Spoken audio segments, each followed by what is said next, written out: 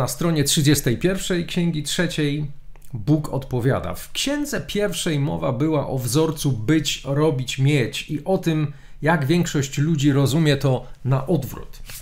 Uważają bowiem, że jeśli będą mieć coś, więcej czasu, pieniędzy, miłości, to wreszcie będą mogli coś zrobić, napisać książkę, oddać się swojej pasji, wyjechać na wakacje, kupić dom, związać się z kimś, co z kolei pozwoli im być, na przykład szczęśliwym, zakochanym, zadowolonym.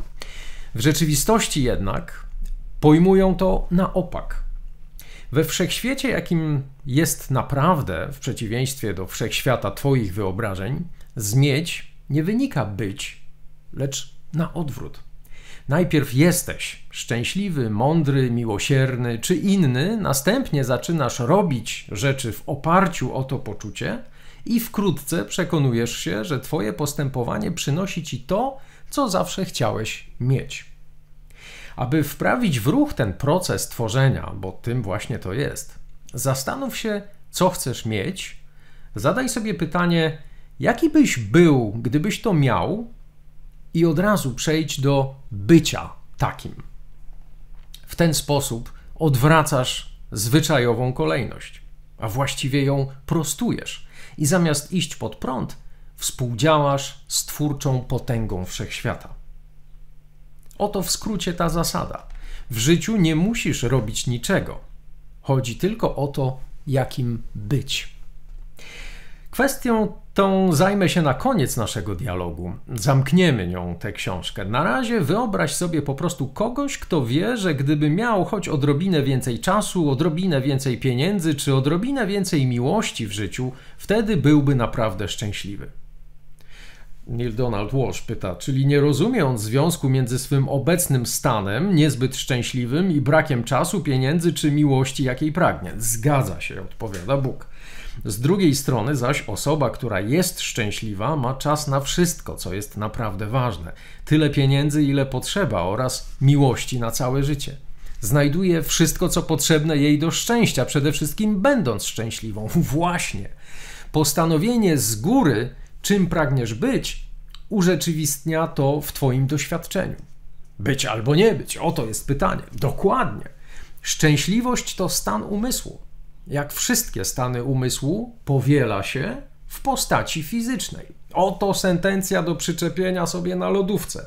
Wszystkie stany umysłu powielają się w postaci fizycznej. Ale jak można od razu być szczęśliwym lub, jakimkolwiek bogatszym czy bardziej kochanym, jeśli nie ma się tego, czego się potrzebuje, aby tym być? Postępuj, jakbyś był i przyciągniesz to do siebie. Jak postępujesz, takim się stajesz. Innymi słowy, graj, aż gra stanie się prawdą. No, coś w tym rodzaju. Tylko, że nie można grać. Twoje czyny muszą być szczere. We wszystkim, co robisz, miej szczere intencje, bo wszelkie dobro zostanie zaprzepaszczone. Nie dlatego, że ja cię nie wynagrodzę. Jak wiesz, Bóg nie wynagradza ani nie karze, ale powszechne prawo wymaga zjednoczenia się ciała, umysłu i ducha w jedności myśli, słowa i czynu, abyś mógł, aby mógł dopełnić się proces tworzenia. Umysłu nie da się zwieść. Jeśli nie jesteś szczery, twój umysł to wie i koniec. Nie pomoże ci w twórczym procesie. Można oczywiście pominąć umysł, ale tak będzie o wiele trudniej. Można zażądać od ciała, aby robiło coś, w co umysł nie wierzy. I jeśli ciało będzie dostatecznie wytrwałe, umysł wyzbędzie się uprzedniej myśli i zacznie tworzyć nową myśl. Kiedy masz już na jakiś temat nową myśl, jakieś bliskie urzeczywistnienia tego jako trwałego składnika Twojej istoty, przestaje to być wtedy tylko grą. Lecz to ciężkie zadanie i nawet wtedy czyny muszą być szczere. Wszechświatem nie da się manipulować inaczej niż ludźmi. Trzeba zachować delikatną równowagę. Ciało robi coś, w co umysł nie wierzy Mimo to umysł musi dodać niezbędnej szczerości, bez której czyny ciała się nie powiodą. Jak umysł może zdobyć się na szczerość, skoro nie wierzy w to, co robi ciało? Usuwając egoistyczny czynnik osobistej korzyści. To znaczy, Umysł może nie zgodzić się z tym, że czyny ciała przyniosą ci to, o co zabiegasz, niemniej raczej nie będzie wzbraniał się przed uznaniem, że przez ciebie Bóg obdarzy dobrem innych ludzi. Dlatego to, co wybierasz dla siebie, daj drugiemu. Yy, mógłbyś to powtórzyć? Naturalnie. To, co wybierasz dla siebie, daj drugiemu. Jeśli postanawiasz być szczęśliwy, spraw, aby drugi był szczęśliwy. Jeśli wybierasz zamożność dla siebie, spraw, aby drugi był zamożny. Jeśli pragniesz więcej miłości w swoim życiu, spraw, aby drugi zaznał więcej miłości. Postępuj szczerze, nie dla własnej korzyści, lecz dlatego, że naprawdę życzysz tego drugiemu, a wszystko, co dasz, wróci do ciebie. Dlaczego? Jak to się dzieje? Sam akt oddania czegoś sprawia, że doświadczasz posiadania tego w pierwszej kolejności, ponieważ nie możesz obdarzyć drugiego tym, czego sam nie masz. Umysł dochodzi do nowego wniosku, tworzy nową myśl, mianowicie, że musisz to mieć, gdyż inaczej nie mógłbyś tego oddać. Staje się to zalążkiem nowego doświadczenia. Zaczynasz takim być. A kiedy zaczynasz być takim, uruchamiasz najpotężniejszą machinę twórczą we wszechświecie swoją jaźń. Czym jesteś, to tworzysz. Okręg się zamyka, a ty możesz coraz więcej urzeczywistniać tego w swoim życiu. Objawi się to w Twoim doświadczeniu. Oto wielki sekret życia. Aby go wyjawić, powstały dwie wcześniejsze księgi. Wyjaśnij mi, proszę, dlaczego taka ważna jest szczerość przy dawaniu innym tego, co wybieram dla siebie. Jeśli to wybieg, chęć manipulacji, aby pozyskać coś dla siebie, Twój umysł o tym wie. Właśnie przekazałeś mu sygnał, że tego nie masz.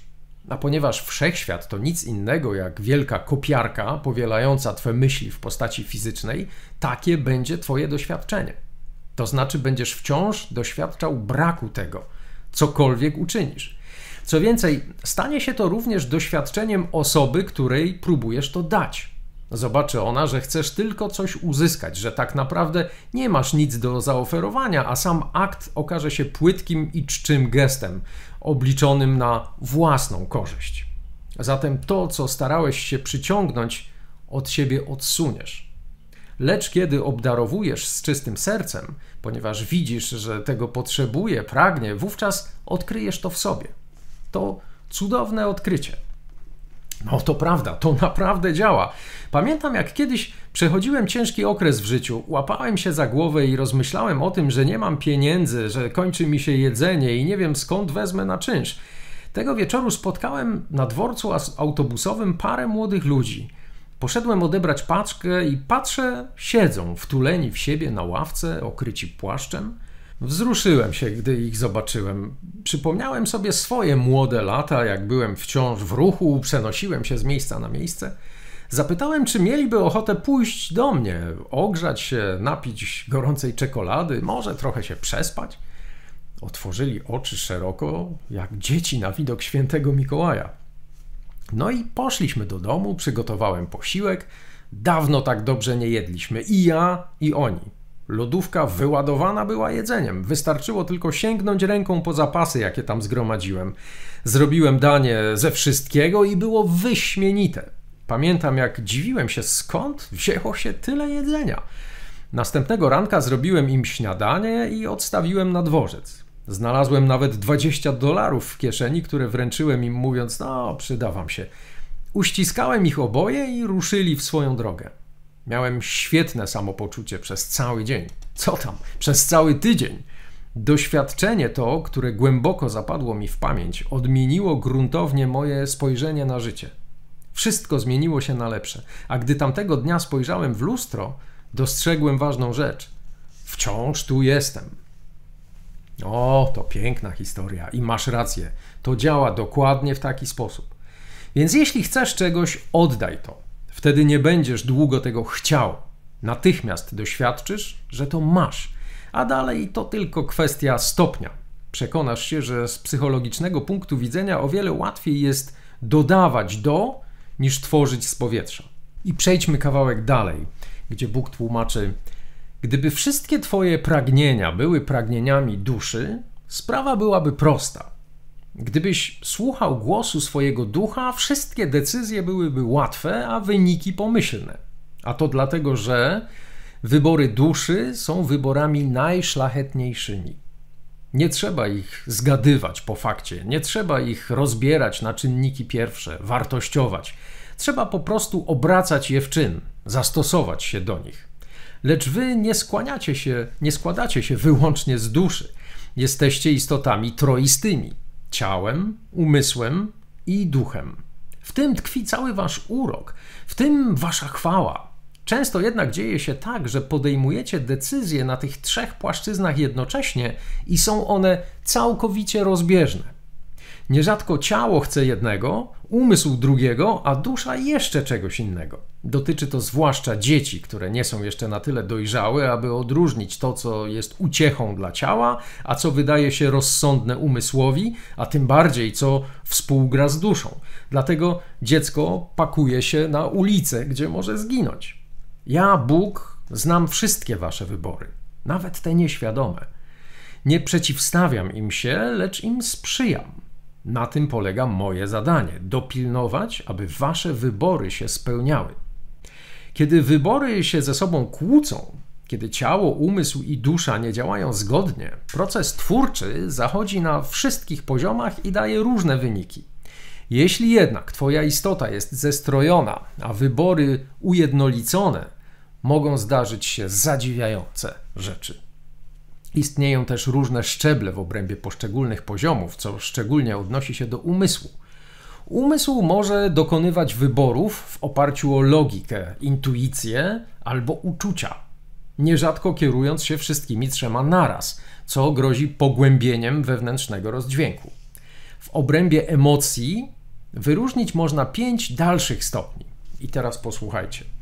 Stanowią one pięć naturalnych uczuć: to smutek, złość, zawiść, strach oraz miłość. A tych pięć uczuć można sprowadzić do dwóch: miłości i strachu. Pięć naturalnych uczuć zawiera w sobie strach i miłość, lecz miłość i strach stanowią podstawę wszelkich uczuć. Pozostałe trzy wyrastają z tych dwóch podstawowych. Za wszelkimi myślami na samym dnie kryje się zawsze miłość lub strach. To właśnie jest wielka biegunowość, pierwotna dwoistość. Wszystko da się w końcowym rozrachunku odnieść do jednego albo drugiego. Wszelkie myśli, idee, pojęcia, decyzje, wybory i czyny mają oparcie w strachu lub w miłości. Lecz ostatecznie jest tylko jedno miłość. Tak naprawdę miłość jest wszystkim, co istnieje. Nawet strach wyrasta z miłości i odpowiednio użyty może być wyrazem miłości. Strach może wyrażać miłość w swej najwyższej postaci, owszem. Wszystko staje się wyrazem miłości, o ile wyrażone jest w najwyższej postaci. Rodzic, który ratuje dziecko spod kół samochodu, kieruje się strachem czy miłością. No, chyba jednym i drugim. Boi się o życie dziecka i kocha je tak bardzo, że gotów jest narazić swoje własne życie. No, dokładnie. Widzimy więc, że strach w swej najwyższej postaci staje się miłością. Jest miłością wyrażoną przez strach. Podobnie, gdy przyjrzymy się pozostałym naturalnym emocjom, zobaczymy, że smutek, złość i zawiść stanowią przejawy lęku, a ten zaś stanowi formę miłości. Jedno prowadzi do drugiego, rozumiesz? Problem występuje wtedy, gdy któraś z tych naturalnych emocji zostaje wypaczona. Nabierają wówczas groteskowych rysów. Trudno w nich rozpoznać miłość, a tym bardziej Boga, który jest miłością absolutną. Słyszałem już o pięciu naturalnych uczuciach. Dowiedziałem się o nich od Elizabeth Kubler-Ross. Właśnie, to ja jej to podsunąłem. Czyli, jak rozumiem, kiedy dokonuję wyboru, wiele zależy od tego, co mną powoduje, a to może być ukryte gdzieś głęboko we mnie. No i tak właśnie jest. Opowiedz mi proszę, chciałbym to sobie odświeżyć, gdyż niewiele zostało mi w pamięci z nauki Elizabeth o pięciu naturalnych uczuciach. Smutek jest naturalny. To ta cząstka w tobie, która pozwala ci rozstać się z czymś, z czym nie chcesz się rozstawać. Wyrazić, wyrzucić z siebie żal, jaki rodzi się w tobie pod wpływem doznanej straty. Może to być utrata ukochanej osoby albo zwykłe zgubienie okularów. Kiedy wolno ci wyrażać smutek, pozbywasz się go. Dzieci, którym pozwolono być smutnym, mają do tego zdrowy stosunek w dorosłym życiu i w związku z tym szybko go przezwyciężają. Dzieci, którym mówi się: No już, nie płacz, jeśli dorośli, jako dorośli nie potrafią płakać. Przecież uczono ich, że tak nie wypada, więc tłumią w sobie smutek. Nieustannie tłumiony smutek przeradza się w przewlekłą depresję, uczucie bardzo nienaturalne. Pod wpływem przewlekłej depresji zabijano. Wybuchały wojny, ginęły całe narody. Złość jest naturalna. To narzędzie, dzięki któremu potrafisz odmówić. Nie, musisz, nie musi być obraźliwa ani służyć krzywdzeniu innych. Kiedy dzieciom wolno wyrażać złość, wnoszą w swe dorosłe życie zdrową wobec niej postawę, przez co szybko ją przezwyciężają. Dzieci, którym daje się odczuć, że nieładnie jest się złościć, że nie powinno się jej uzewnętrzniać, a nawet odczuwać, nie będą umiały jako dorośli radzić sobie ze swoją złością. Złość bez przerwy tłumiona przeradza się we wściekłość. Uczucie bardzo nienaturalne. Pod wpływem wściekłości zabijano, wybuchały wojny, ginęły całe narody. Zawiść jest naturalna. To ona sprawia, że pięciolatek chce dorównać starszej siostrze i dosięgnąć tej klamki albo pojechać na tym rowerze. Zawiść skłania cię do podjęcia jeszcze jednej próby, wytężenia całych swoich sił, aż ci się powiedzie. Zdrowo jest czuć zawiść, to naturalna rzecz. Kiedy dzieciom wolno wyrażać zawiść, nabierają do niej właściwego podejścia i dlatego w dorosłym życiu szybko je przezwyciężają. Szybko ją przezwyciężają.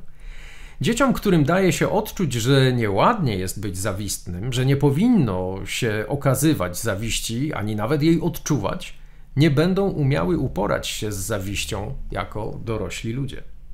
Tłumiona zawiść przeradza się w zazdrość, uczucie bardzo nienaturalne. Z zazdrości zabijano, wybuchały wojny, ginęły całe narody. Strach jest naturalny. Wszystkie dzieci przychodzą na świat bojąc się tylko dwóch rzeczy: spadania i hałasu. Pozostałe lęki są reakcjami nabytymi, wyuczonymi pod wpływem otoczenia, przekazanymi przez rodziców. Celem naturalnego strachu jest zaszczepienie ostrożności. Ostrożność pozwala utrzymać się przy życiu. Wyrasta z miłości, miłości jaźni. Dzieci, którym wpaja się, że nie wypada się bać, że nie powinno się uzewnętrzniać strachu, ani nawet go odczuwać, będą miały trudności z opanowaniem swego strachu w dorosłym życiu. Nieustannie tłumiony strach przeradza się w panikę. Uczucie bardzo nienaturalne. W panice zabijano, wybuchały wojny, ginęły całe narody. Miłość jest naturalna kiedy dziecku pozwala się ją swobodnie wyrażać i przyjmować, bez wstydu, zahamowań, ograniczeń, niczego więcej nie potrzeba. Albowiem radość obdarowywania i chłonięcia miłości całkowicie wystarcza.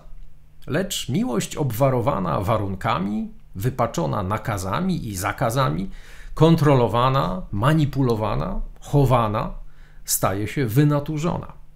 Dzieci, którym daje się do zrozumienia, że ich naturalna miłość jest niewłaściwa, że nie powinno się jej okazywać ani nawet doświadczać, czeka ciężkie zadanie w przyszłości. Miłość duszona w sobie przeradza się w zaborczość, uczucie bardzo nienaturalne. Wskutek zaborczości zabijano, wybuchały wojny, ginęły całe narody. I w ten oto sposób naturalne uczucia tłumione wynaturzają się i wywołują reakcje zaburzone, a naturalne uczucia dusi w sobie większość ludzi. Lecz one są waszymi sprzymierzeńcami. To wasze dary, boskie narzędzia, z pomocą których wykuwacie swoje doświadczenie. Otrzymujecie je przy narodzinach. Mają za zadanie pomóc wam przejść przez życie. Dlaczego większość ludzi tłumi w sobie te uczucia? No, tak ich nauczono, tak im kazano. Kto im to wpoił? Rodzice, wychowawcy. Ale dlaczego? Po co mieliby to robić? Bo tak ich nauczyli rodzice, a tych z kolei ich rodzice. No tak, zgoda, lecz dlaczego? Co jest grane? Sęk w tym, że wychowaniem dzieci zajmują się u was nieodpowiednie osoby. Jak to nieodpowiednie? Kogo masz na myśli? Ojca i matkę dzieci. Ojciec i matka nie nadają się do wychowywania swoich dzieci? Nie, kiedy oboje są młodzi. W większości przypadków. To cud, że tak wielu osiąga zupełnie niezłe wyniki. Nikt nie jest mniej powołany do rodzicielskiego zadania od młodych rodziców. I tak przy okazji, nikt nie zdaje sobie z tego sprawy bardziej niż oni sami. Większość przystępuje do wychowywania dzieci z nikłym zasobem życiowych doświadczeń. Łatwo, ledwo sami zdążyli się usamodzielnić, wciąż szukają odpowiedzi, wypatrują wskazówek. Jeszcze siebie nie odnaleźli tak naprawdę, a próbują pokierować rozwojem istot jeszcze bardziej bezradnych od nich. Nie określili siebie, a muszą określać innych. Sami jeszcze nie uporali się z narzuconym im przez rodziców wypaczonym obrazem samych siebie. Nie poznali siebie naprawdę, a próbują powiedzieć tobie, kim jesteś. Spoczywa na nich ciężar prawidłowego ukształtowania swoich dzieci, a nie potrafią uporządkować własnego życia. Odbija się to na ich życiu i na życiu dzieci. Przy odrobinie szczęścia krzywda wyrządzona dzieciom okaże się niezbyt groźna. Potomstwo sobie z nią poradzi, ale zdąży zapewne przekazać część szkodliwego dziedzictwa własnym potomkom. Ludzie na ogół zyskują mądrość, cierpliwość, zrozumienie oraz miłość niezbędne do tego, aby być świetnymi rodzicami dopiero wtedy, gdy sami przestają być zdolni do rozrodu. Kończy te dywagacje Bóg, który rozmawia z Nilem Donaldem Walshem w cyklu trzech ksiąg Rozmowy z Bogiem. Jeśli nie znasz tych książek, to szczerze polecam. Trzeba dojrzeć do tej lektury. Ja też e, musiałem być odpowiednim człowiekiem, żeby zacząć to czytać, ale u mnie to było tak, że, że przyciągnąłem do siebie te książki. Ja czułem potrzebę uzupełnienia wiedzy w obszarze duchowym, rozwoju w tym obszarze. I po prostu znajoma przyszła do mnie i zaczęliśmy rozmawiać niby przypadkowo na temat tego, a co czytasz i i w ten sposób rozmowy z Bogiem trafiły do mnie chyba na początku nawet w formie kserokopii, a potem dopiero książek. Mm, dzisiaj uwielbiam wracać do, do tego trójksięgu. Już czytaliśmy z niego, więc na końcu załączam link do wcześniejszych odcinków. Mm, ale chciałem Wam o tym przeczytać. Jeśli nie znasz historii Nila Donalda Walsha, to koniecznie poszukaj. Na YouTubie jest film o tym, jak doszło do tego, że, że powstały te książki, co się działo wcześniej, co się wydarzyło później. Mm, I dla mnie to jest absolutnie ważna postać, wspaniały przewodnik po tym, kim być, przewodnik po tym, co sobie sami robimy. Sami słyszeliście w tym kawałku, prawda? Jak często mamy niewłaściwe wyobrażenia o różnych sprawach i niestety przekazujemy je nawet z pokolenia na pokolenie, ale przychodzi teraz taki moment, kiedy poprzez na przykład media społecznościowe, przez te różne kanały dostępu do informacji możemy odkryć wreszcie prawdę. I to po raz pierwszy w historii świata się dzieje, że na taką skalę ludzie mogą docierać do głębszych prawd a nie tylko takich wersji przekazywanych właśnie przez innych z pokolenia na pokolenie, często w wypaczony, w wypaczony sposób. Więc szukajmy źródeł prawdy. E, ja będę bardzo szczęśliwy, jeśli audioinspiracje okażą się czymś takim dla Ciebie. E, mam nadzieję, że ten odcinek rozejdzie się szeroko. Jeśli chcecie, żebym wrócił do, do rozmów z Bogiem, to napiszcie o tym w komentarzach.